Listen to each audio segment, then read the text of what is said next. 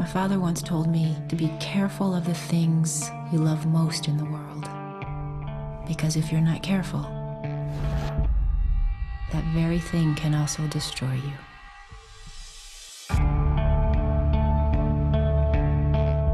The bank called. They're gonna take your boat. I have a job offer, a lot of money. What can I do for you? I'm willing to offer you 100,000 euros to put me in the water with a great white shark outside the cage.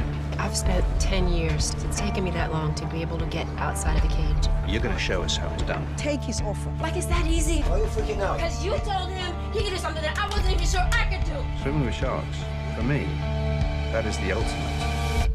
It's putting your courage on the line, right? Let's do it. From the director of Blue Crush and Into the Blue, Where are we going? Shark Alley. And there's big ones down there, right? 20 footers. Be safe out there. You sure about this? Let's give him his money worth. Let's do it. Academy Award winner Halle Berry, Olivier Martinez, It's gonna be fine. hold